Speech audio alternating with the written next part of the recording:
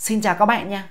Trong video ngày hôm nay mình sẽ hướng dẫn các bạn cách để mà thêm tin nổi bật lên đầu trang cá nhân Facebook của các bạn, giúp cho cái Facebook của các bạn trông đẹp hơn cũng như là chuyên nghiệp hơn. Rồi thì đầu tiên mình sẽ thoát ra ngoài nhé. Đầu tiên thì ờ, các bạn sẽ vào trong ứng dụng Facebook của các bạn. Khi vào trong ứng dụng Facebook của các bạn rồi thì các bạn sẽ tiến hành đó chính là vào trong trang cá nhân của các bạn nha. Nhấp vào trong trang cá nhân của các bạn rồi, và đây là hiện tại là đang ở trong trang cá nhân của mình. Khi mà vào trong trang cá nhân của các bạn rồi, thì các bạn sẽ nhấp vào cái phần đó chính là chỉnh sửa trang cá nhân hoặc là chỉnh sửa chi tiết công khai đều được nhé. Nó nó là một. Các bạn nhấp vào phần nào cũng được. Ở đây mình sẽ nhấp vào phần chỉnh sửa trang cá nhân. Rồi các bạn nhấp vào. Rồi, khi mà các bạn vào trong cái phần chỉnh sửa trang cá nhân rồi, thì các bạn sẽ kéo xuống phía bên dưới nhé. Các bạn thấy cái phần đó chính là đáng chú ý. Thì ở đây các bạn sẽ nhấp vào cái phần đó chính là dùng thử nhấp vào dùng thử. Rồi, khi mà dùng thử thì nó sẽ ra cái phần camera cuộn này, cũng như là cái phần tin, là cái phần tin mà các bạn hay đăng ấy. Đó, những cái tin mà các bạn đăng thì nó sẽ hiện lên hết ở trong này. Cũng như là ảnh các bạn đã từng tải lên trên Facebook.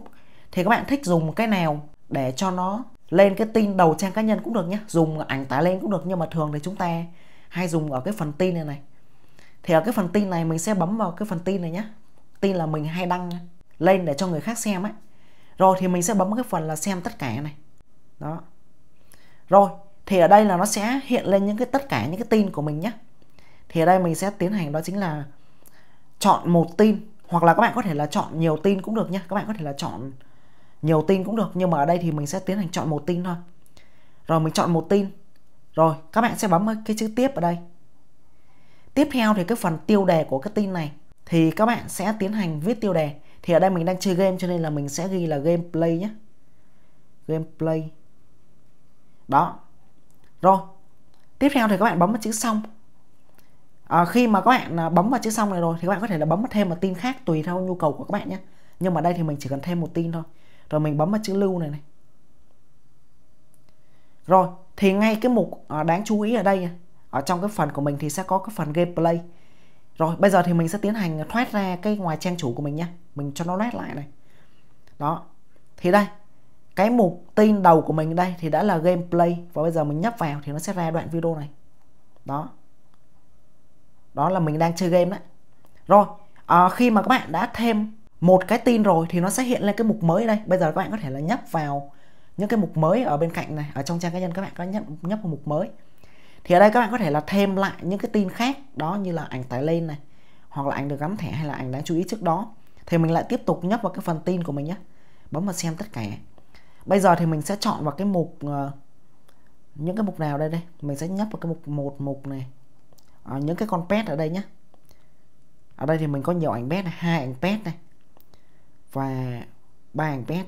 Rồi sau đó thì mình sẽ bấm vào cái chữ tiếp ở đây nhé bấm chữ tiếp và mình sẽ viết cái tiêu đề của nó là my pet. My pet. Có nghĩa là thú cưng của tôi ấy. rồi, ok, mình sẽ bấm chữ xong. Rồi sau đó thì mình sẽ bấm vào cái chữ lưu ở đây.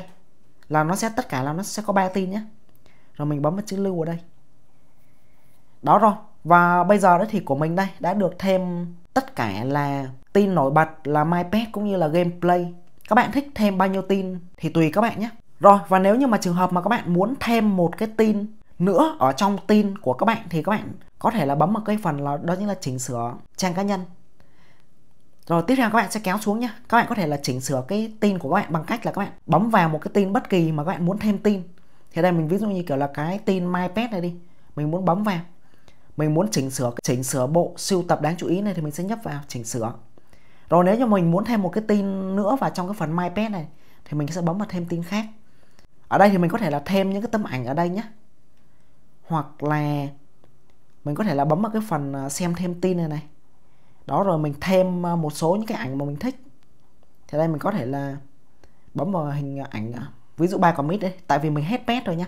Mình hết động vật của mình rồi cho nên mình sẽ nhấp lại vào ảnh quả mít. Thì mình đã thêm ảnh quả mít với ảnh ba con mèo rồi thì bây giờ mình bấm vào chữ tiếp này. Rồi, thì nó sẽ hiện lên những cái tin ở đây cho mình đây là ba quả mít này cũng như là ba con mèo mình vừa mới thêm rồi sau đó thì mình bấm vào chữ lưu ở đây đó rồi, nó đang à, lưu bộ sưu tập đáng chú ý nhé Và trong video này, mình hướng dẫn các bạn chi tiết cách để mà thêm tin nổi bật lên đầu trang cá nhân của các bạn, giúp cho cái Facebook của các bạn trở nên đẹp hơn, cũng như là chuyên nghiệp hơn. Và nếu như mà các bạn thích video này, các bạn nhớ giúp mình một like cũng như là bình luận xuống bên dưới để cho YouTube họ đề xuất tốt hơn cho video này của mình ủng hộ mình bằng cách đăng ký kênh MRX Mobile. Mình chào các bạn và hẹn gặp lại các bạn ở trong những video tiếp theo.